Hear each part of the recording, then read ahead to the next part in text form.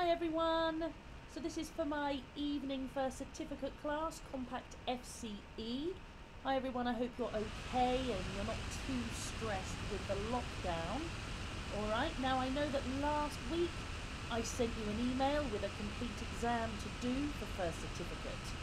If you don't have time to do it at the moment, no worries, no problem. Okay, when you do have some time, sit down and do it under exam conditions. So for each part, do it in the time that you have for the exam, and when you finish, email me your answers and I'll correct them. Okay? But as I said, if you don't have time to do it this week or next week, no problem. It doesn't matter. You can do it any time you like. Alright? Today we're actually going to continue with the book. So we're starting Unit 8. Alright? And Unit 8 is actually all about science and technology, which is pretty interesting considering we're doing this class through technology. Now we can't physically be in the academy. Quite incredible. So let's start with page 64. Alright? Now on page 64, you have here six examples of ways to communicate and in the box is the vocabulary for each one. So fairly simple, I'm going to give you 20 seconds to match the vocabulary with the correct way of communicating. Okay? 20 seconds now.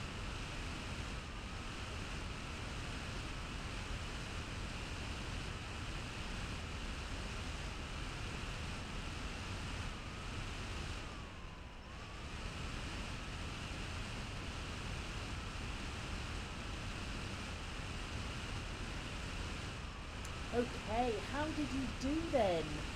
So, number one, really obvious, is emailing. Number two, blogging. Now remember, blogging is a little bit like writing a diary, but instead of it being personal for you, it's public for everybody to read. Number three is instant messaging. Number four, texting. Number five, social networking. And number six, video conferencing. Alright? Now, for each of these ways of communicating, which ones do you think are becoming more popular now?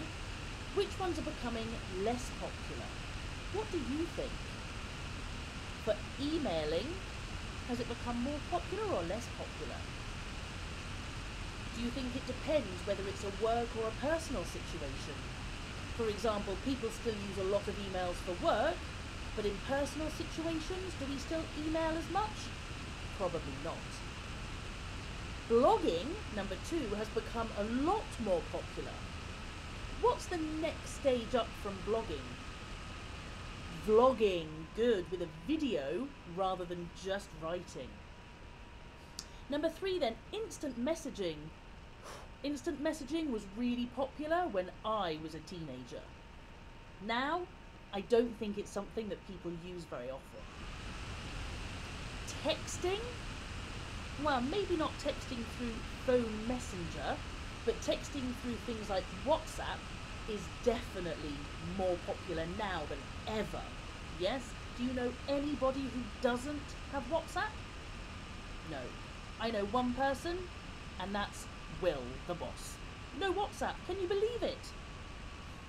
Um, number five then, social networking. Pretty popular now, isn't it? Becoming more and more popular, and there's so many different platforms that we can use now. Facebook, for the oldies like me. Nowadays, Instagram, Twitter, and things like that. And finally, number six, video conferencing. For work, is that a popular way of communicating? Yes, especially nowadays when we're trying to think of the environment. If we can have a meeting online, that's much better than everybody travelling to one place. I wish governments would do more of it. Can you think of any other ways that we use to communicate? I'll give you a clue. This is one. yeah? So here I'm using YouTube and videos to be able to communicate your lesson to you. Incredible. What about a usual phone call? I know we don't use it that often anymore, but phone calls are still a way of communicating. There's also Skype and Zoom and other ways that we can use to communicate with people. Okay?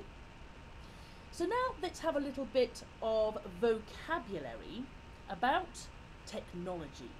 All right? Now, I have here a board with computer and mobile. And in exercise two, you'll see here two sets of nouns. All right? So we need to use these words to form compound nouns. What's a compound noun, do you say? Well, a compound noun is when we take two words, we put them together, and it makes a new word. Okay? For example, laptop, webcam. Okay? So compound nouns, two words that we put together to form a new word. So if you take the words in A, can you match them to the words in B to make compound nouns? Then when you finish, can you decide whether they refer to the computer, a mobile phone, or can they be for both? All right. So this is the point where you need to pause the video, do the exercise, and when you finish, press play again, and we'll go through the answers. Okay? So pause now, and then we'll go through when you've finished. Okay? Good luck. Right, how did you do? Shall we go through then? Let's get my board and we'll start with the first one, which is book. The compound noun is bookmark. And does that refer to the computer or mobile? Good. It could be both. Okay, we can bookmark things on our computer and on our mobile if we want to look at them later. The next one then is broad. And this one is broadband. Computer or mobile? Computer. Good. Now, I live in the countryside. I don't have broadband. What a shame. The next one then is data base. Now, is that computer or mobile? Good. Usually on a computer. If you have the correct application on your mobile, it's possible, but it's not usual. It's usually about computers. The next one then is desk. Yes, desktop. And that's part of computers. Remember, the desktop is the screen you see when you first turn on your computer. Okay? The next one then is handset. Now, handset is for your mobile and it's the part which you hold in your hand when you make a phone call. Nowadays, for a mobile phone, it's all of the phone. But in the past, when we had the part with the numbers and the part that you picked up, this part was the handset. Next then is keyboard. Good, the keyboard goes with computer. The keyboard is the part of the computer or laptop which you use to type. It has the letters and the numbers. With a mobile, you do get a keyboard that comes up on screen, but not a physical keyboard to play with. The next one then is password. Good. Password is in the middle. You can use a password for some computers and you can use a password for your mobile. Excellent. The next one then is ringtone. Of course, it's for your mobile. The ringtone is the music which plays when somebody phones you. Okay? Do you have a good ringtone or not? In the past, my ringtone was something I actually recorded. My husband snores really loudly when he's sleeping, but he didn't believe me. So I recorded him and used it as my ringtone for about six months. Bad wife. okay, the next one then is spread sheet. And again, that one is with computer. Okay? Now spreadsheet and database could be quite similar. Quite often you have a database made on a spreadsheet. Okay? So the database is all the information. The spreadsheet is how you organize the information. And finally, web site. And a website can be both. To go onto a website or a web page, we can use our mobiles on the internet and we can use our computers on the internet. Okay? Fairly simple? Good. So, can you think of any changes that the internet has made to our lives? Some positive changes and some negative changes. For example, a positive change is the way we can communicate with people. I can do a class from my kitchen. It's incredible. But what about a negative? Sometimes the internet can be quite intrusive. I need to check my phone. Things are happening all the time. I need all the information. What do you think? Can you think of some positives and some negatives? Okay, so let's move on now and have a look at some reading. Alright, so on page 65, have a look at the title of the text. The title is Has the Internet Brought Us Together or Driven Us Apart? Hmm, what do you think? Has the internet brought us together or driven us apart? Well, I'm going to give you now 90 seconds to quickly read the text. Ignore the vocabulary you don't understand. This is just reading for gist. Okay? So, 90 seconds to read the text and find out what the writer believes is the answer to this question. So, does the writer believe that the internet has brought us together or driven us apart? Okay, 90 seconds. Now.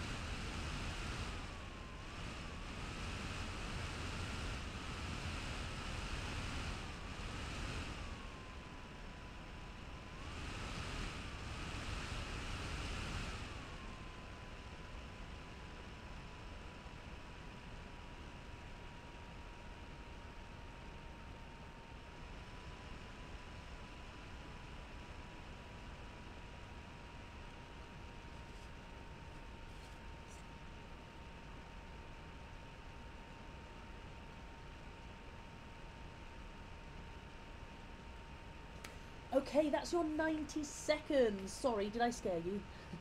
okay, so what did you think? What does the writer think? Has the internet brought us together or driven us apart? Good, yeah, he thinks it's brought us together, exactly, and how lonely we would be if it wasn't there.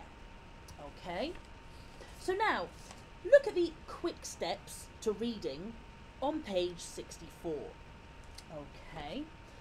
So, first of all, to answer a question about the meaning of a word or phrase, look for an explanation in the text or for words with a similar or opposite meaning.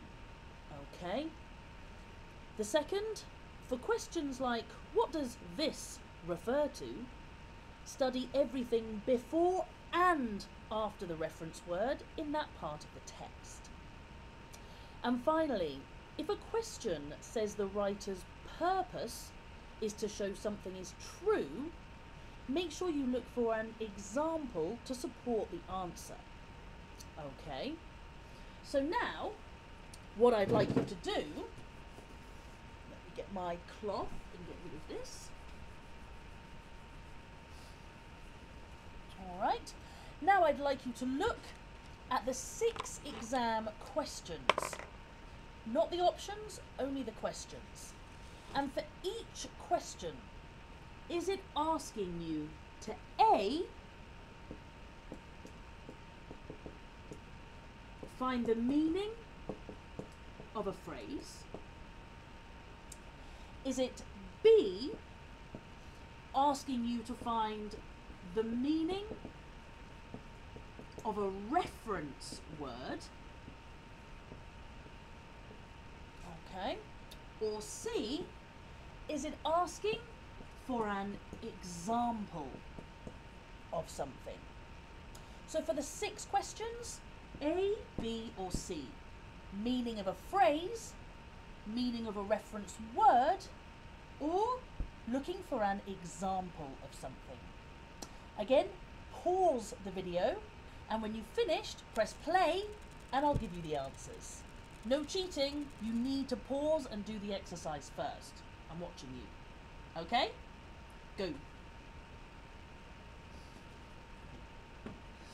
Right, what did you think then? So let's look at the questions. In number one, the writer mentions talking to his nephew to show how much. Good, we're looking for an example which shows us why or how much the talking to the nephew changes something. Number two, then, what is the writer's attitude to free online news and music? Again, it's looking for an example to help you find the right answer. Number three, what does it in line 29 refer to? This is the meaning of a reference word, and the reference word is. Number four, the writer uses the expression digital migrants in lines 32 to 33 to mean people who, and this one is the meaning of a phrase. Number five, why, according to the writer, can an email anger people so easily? Again, we're looking for an example of how people get angry. Uh, and number six, then, what point is the writer making in the final paragraph? Here you're going to need an example to support the reason. Okay, fairly simple.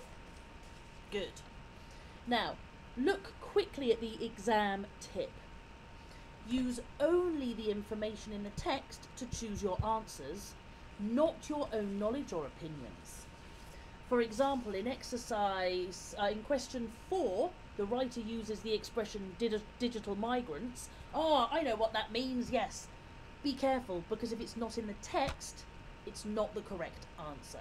This is not a test of your knowledge, it's a test of your reading. Okay? Fairly simple? Right, so now I'd like you to do the exam task. Alright? Now for this part, Lots of people find it easier to read only the question, look at the text to find the answer, and then decide which of the options best fits the answer that you thought. It doesn't matter how you do this, that's one option. When you find the perfect way that works for you, that's what you should do. Okay? So again, hit pause, do this exam task, and when you've finished, press play and I'll give you the answers. Don't cheat, press pause now. Okay? Right, how did you do? Let's go through the answers for this text. Has the internet brought us together or driven us apart? Okay, so for number one, the writer mentions talking to his nephew to show how much. B. The internet has changed human communication. What's the example that he gives in the text?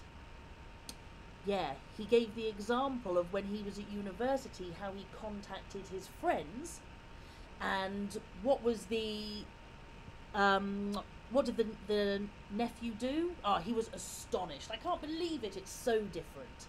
So the example was how he communicated at university. Number two, then, what is the writer's attitude to free online news and music? This one is C.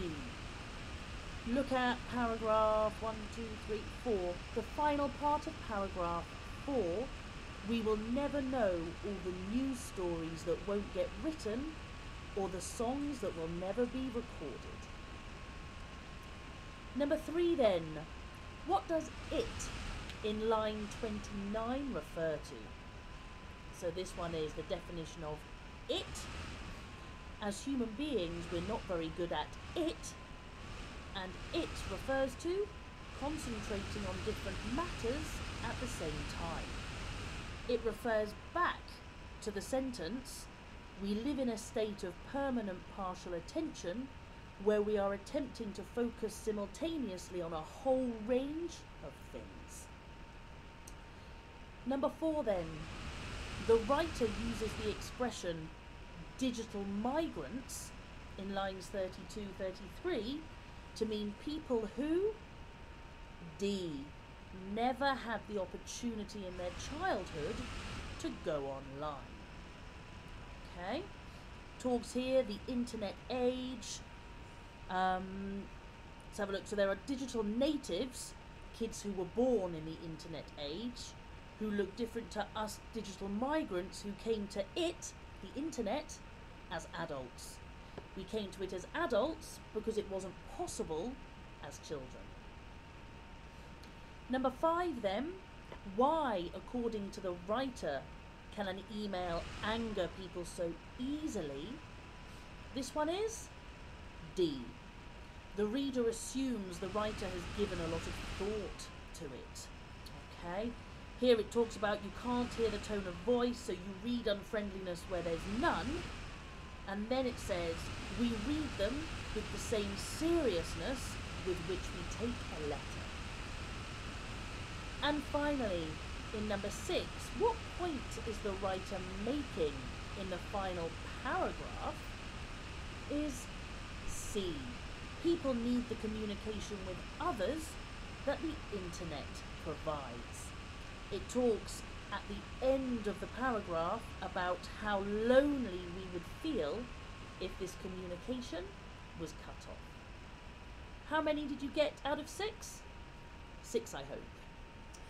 Okay, well that's the end of today's video class. Alright, I will see you on Wednesday where we'll continue with the book.